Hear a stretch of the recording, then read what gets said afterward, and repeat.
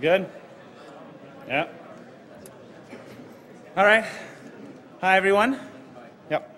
Hi, everyone. I'm here to talk to you about a topic near and dear to my heart mainframes. Um, just a quick show of hands. I'm just curious how many people are mainframers? How many mainframers we got in the house? Uh, zero. That's what I expect. How many people have actually audited or tested a mainframe in the house? A lot more than zero. So, so people who aren't mainframers are testing these things out there. I'm hoping to dispel a little myths and get some knowledge going. So let's hear.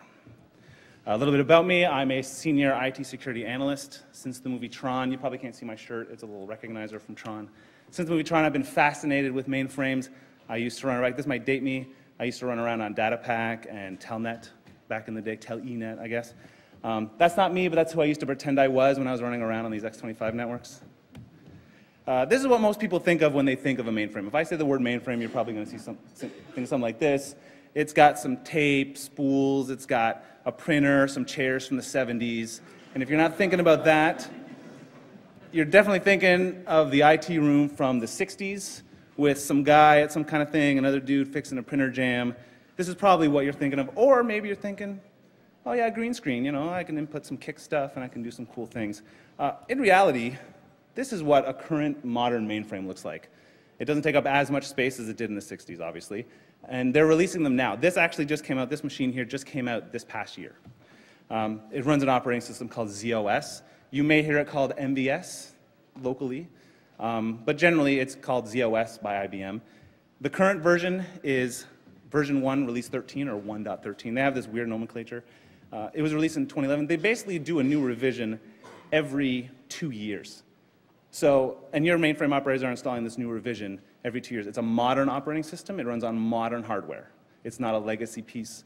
It's running modern things. 70% uh, of Fortune 500s are running an IBM z/OS. Now, according to IBM, 95% of Fortune 100s are running IBM mainframes. And then some report I just read today, they said all top 1,000, 95% of them are running mainframes. Who knows? But it's a lot. And generally, these companies aren't using mainframes to host your little intranet little website. They're hosting the crown jewels of the company. The key business items for the company are being run on the mainframe. If, if you took United, you took any other airline here, somewhere along the line you were using a mainframe, either changing your schedule, booking the flight, anywhere along that chain, there was a mainframe involved. Unfortunately, this is still the user interface. This is still how you have to interact with the mainframe. So how do you do that? You use TSO, a thing called time sharing option.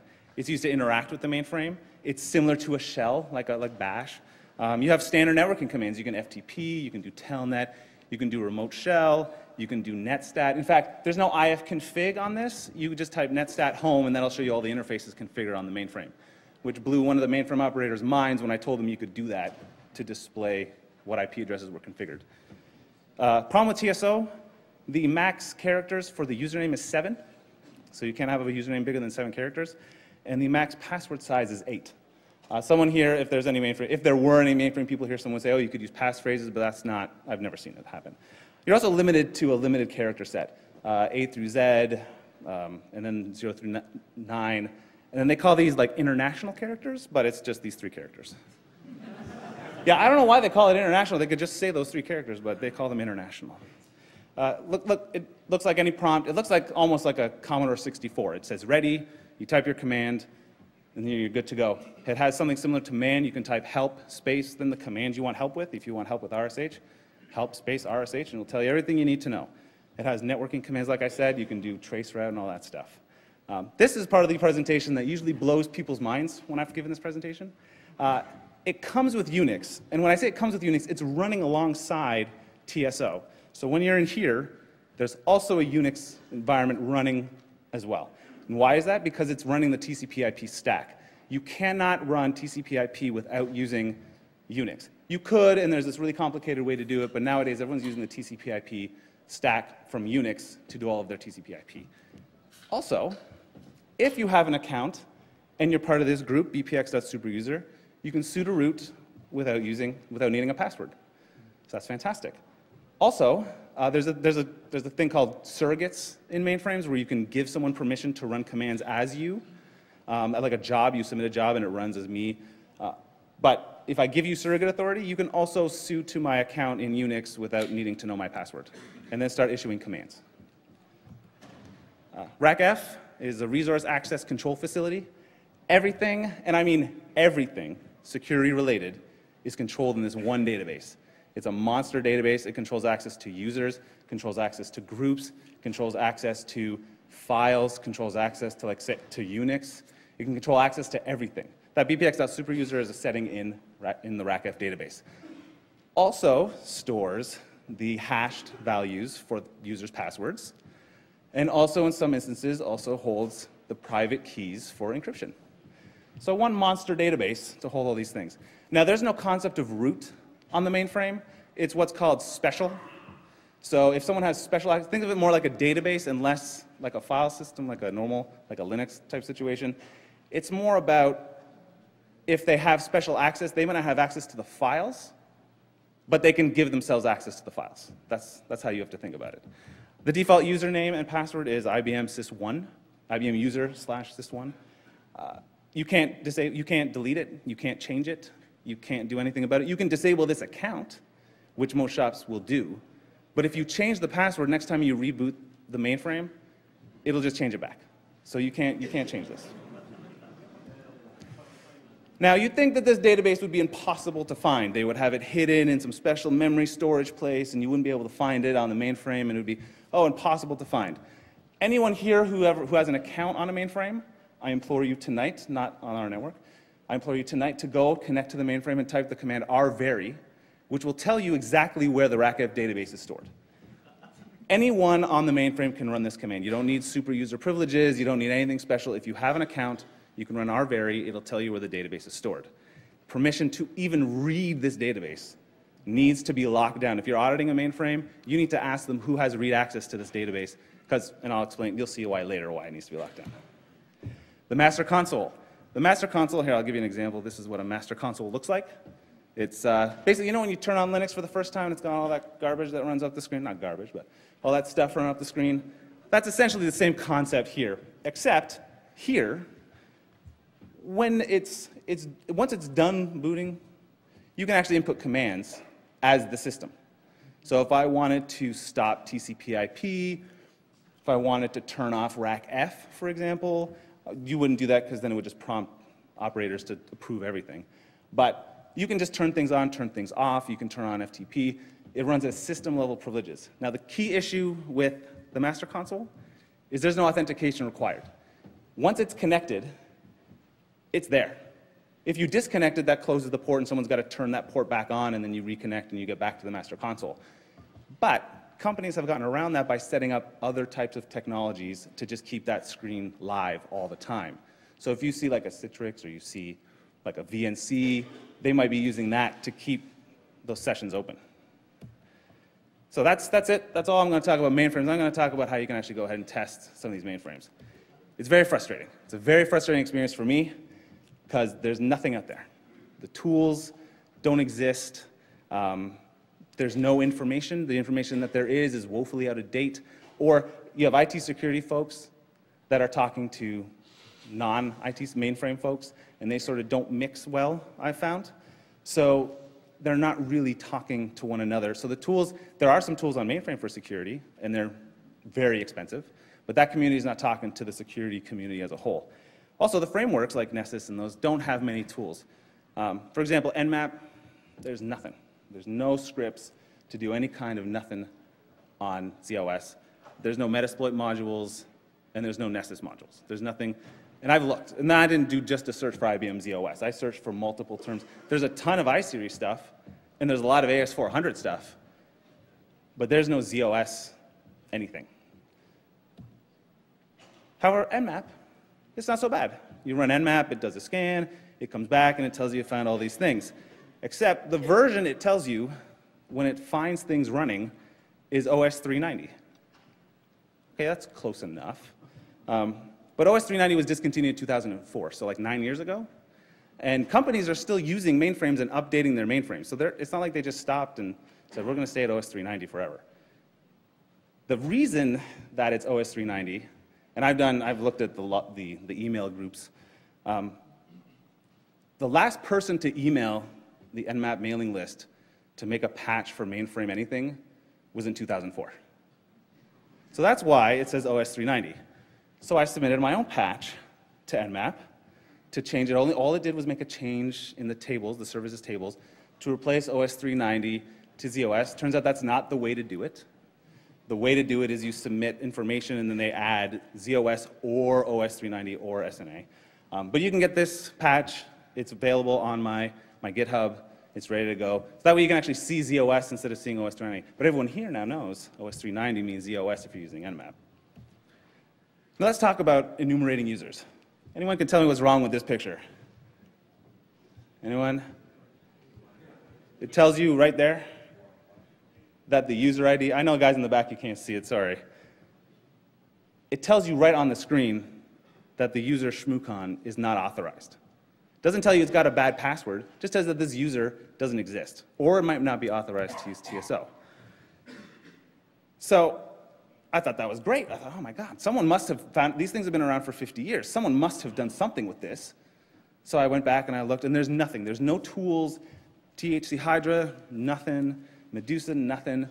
So I took the initiative and I wrote a Python tool called TSO Brute. What TSO Brute does is uses a 32770 script. It uses basically, the, you can download the client X3270. And what it does is it initiates a connection. Once it connects, it sends a fake user ID, and then it tries to enumerate all the users. Now, if you set it into brute force mode, it'll find a user and then try to brute force the account with password lists. So I'll have a quick little demo here you can see. Now I also made it fun so you can show your bosses and stuff how scary this can be. So I made a movie mode.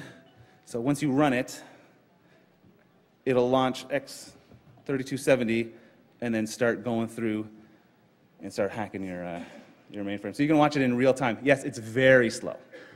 It's like molasses. So I like to say it gets there eventually. You'll get a user ID. So you can see it got to the prompt, it's going, it can't find a user. Also, notice how I mentioned at the beginning, there's all these rules with TSO that you can't do for user IDs. So I've built that into the tool so it'll skip. So if you just take a word list and throw it in, it'll skip these items because it says, oh, it does it, it starts with a number. You can't start with a number. So here I found IBM user, and now it's going through the accounts. Oh, and now it found the password sys1. Let's stop this.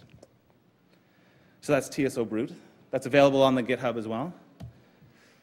Then I thought, well, I mean, TN3270 is a plain text protocol. Um, it's very easy to sniff. You can, use, you can just launch Wireshark and there's an EBCDIC. Everything on the mainframe, by the way, is EBCDIC. Uh, you can just click on the little EBCDIC button and it'll say, hey, great, I'll, I'll follow the stream and I can, you can decode and everything. Not so great in other tools, um, but it's, it's easy to capture. Uh, someone once told me after I wrote about this, oh, but SSL's been available since the mid 90s. And in my research, it's about, I would say it's about half. Half of the places use, use SSL and half don't. Um, I don't know why. SSL's been available for 15, 20 years, but they're legacy, so they don't want to they don't want to do it. Um, but this is a pain in the butt, right? No one wants to look like this is awful. I've I've redacted my user ID. This is actually for Master of the Mainframe contest. I've redacted my username and password here, but you can capture this. But this is kind of nasty. So I wrote a tool called MF Sniffer that, that's Python based, uses Scapy. Uh, all it does is it sits and it waits, and if it sees someone trying to connect to a mainframe, it'll grab the username, and then it grabs the password. Not great, it's proof of concept. It eats up a ton of RAM. Um, but luckily enough, someone got interested after I wrote about it and said, hey, well, that would be a cool dissector to have in ItterCap. So they went ahead and, and took my script and converted it into a dissector for ItterCap. So today, if you went and you download the source off of GitHub and compiled it, you would be able to sniff mainframe credentials using a man-in-the-middle attack using ItterCap. So by the way, Diru is the guy who put that code into, the ItterCap production. And then I made some changes so that it was obvious you're, you're sniffing ZOS TSO credentials. Finally, cracking these things offline. So like I said, the RACF database has got everything in it, right? Including the hashes. So I thought, well, if I can get a copy of this database, Surely I can just start cracking these hashes and be done. It's, it's just DES, right? Everyone knows that? RACF uses DES? Oh, no one knows that because IBM publishes it in a little line and say that it uses a one-way DES hash. It uses DES to hash your user ID with your password. So not too hard to reverse engineer that. So Diru wrote he's a gentleman at OpenWall, by the way. He wrote a plugin for John the Ripper to actually go ahead and strip out the user IDs and the hashes from a RACF database once you get a copy of it locally, and then start cracking away at them using John the Ripper. It's fast, it's great. I've used it, it's fantastic. You can get it at this GitHub as well. And I have a link on my blog at the end to all these links so that you're not like furiously typing this little tiny link at the bottom here.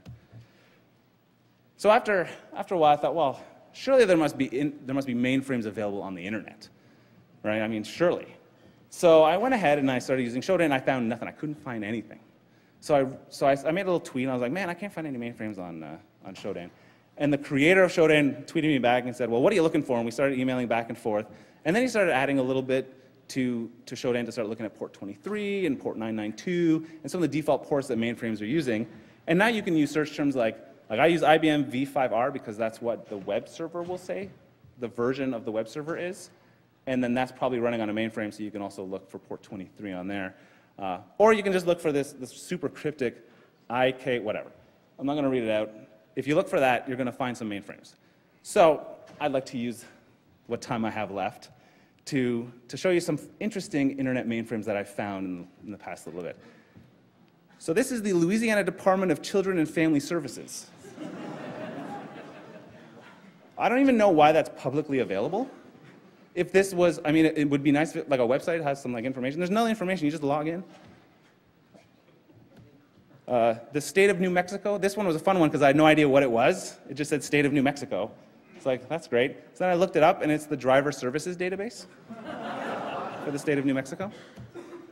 Um, this is the Department of Human Services for Oregon. Uh, I don't know if that DHS TSO is for Department of Homeland Security. I hope it's not. Please don't. I didn't do anything. I just took a screenshot and left. I, I swear. And then the court information system for Raleigh, North Carolina. I don't know why that's. I mean, all of these, I don't know why they're publicly available. I mean, really.